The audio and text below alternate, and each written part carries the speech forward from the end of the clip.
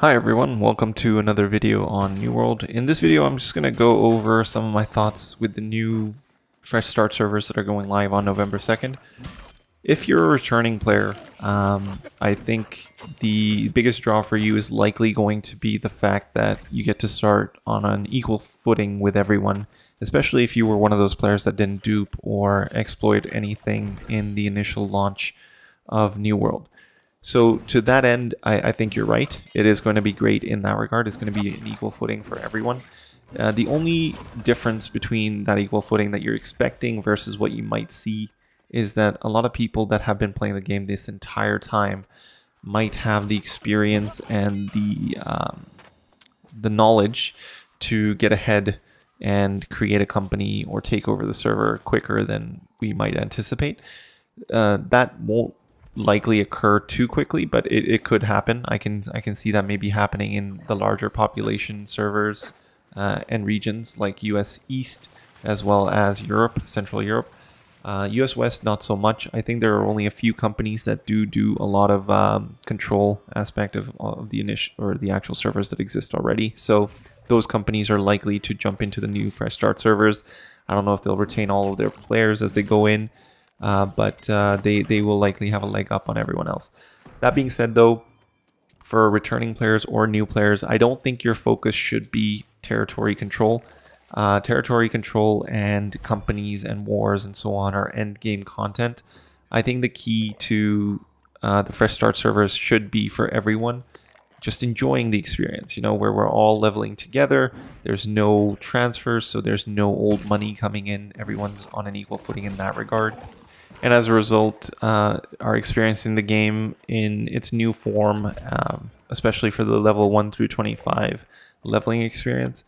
Uh, there will be a few people that get to 60 and max level within a day or two uh, because those people are able to play the game more so than, say, casuals like myself. Uh, I consider myself a casual because I only have a few hours each day that I can play the game.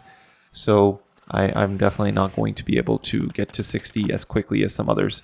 That being said, though, I will be streaming my journey. Um, I'm just going to log in to the fresh start to create my character, so I have a, a spot, and I'll, I'll, miss out on the initial Zerg rush of everyone, you know, doing their thing. But I, am sad to to to miss out on that. But I, I, will be able to show the leveling of my character and so on uh, after the fact. So uh, in that sense, it shouldn't be too bad for me.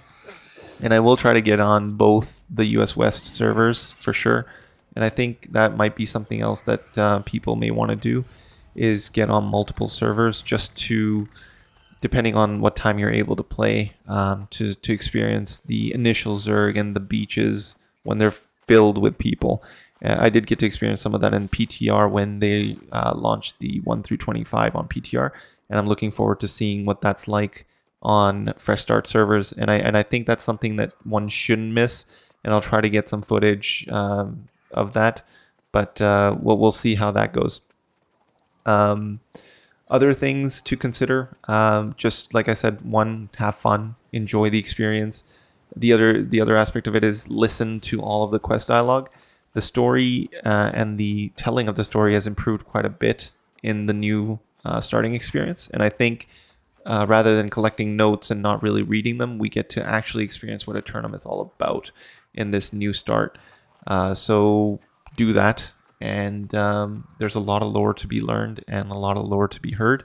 So make sure you listen and, and enjoy that aspect. PvP, you can turn the flags on once you get to settlements. For those that are really PvP centric, um, you can still do that. That's not an issue. So you can you can engage in PvP early. It doesn't matter. For, but for those that are mainly PVE and not really interested in that until endgame and, and the 3v3s arenas, uh, you can always just enjoy the PVE content, and uh, there's going to be a, a, vast majority of that.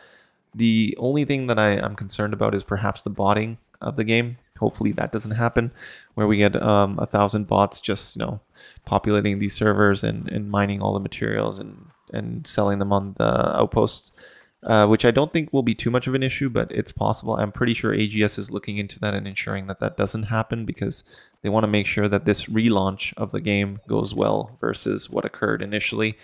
Um, yeah, so th those are some of the, my thoughts on uh, on what one should look to when playing Fresh Start. That's just my opinion. Obviously, some of you may may differ in that, where you're more focused on getting to 60 as soon as possible, getting control of the entire map, and getting your company to be the most prominent company on the server.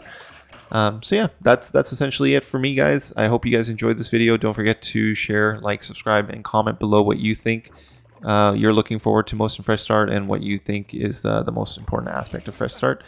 And um, yeah, thanks for watching. Appreciate it. See you guys in Aeternum. Have a good one.